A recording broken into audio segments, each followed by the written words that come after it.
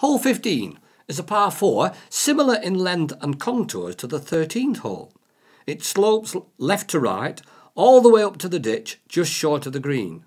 The choice of club off the tee is important as position for your second shot is paramount.